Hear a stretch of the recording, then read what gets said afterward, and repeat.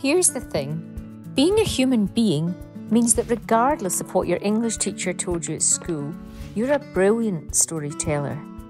We humans tell ourselves stories all day long stories of the past, stories of the future, happy stories, scary stories, but all of them stories. None of them are real. And when we see that this is how we human beings work, we just do so much better at the game of life. It's not that we'll stop telling ourselves stories, we just see what we're doing. We understand how the mind works and stop taking our stories, our thinking, so seriously. And when we drop the stories, we see that we have access to a greater power too the power that always has our back and always nudges us to do the right thing. This understanding sounds simple because it is simple. Simple and life changing. We have a different experience of life altogether when we see this.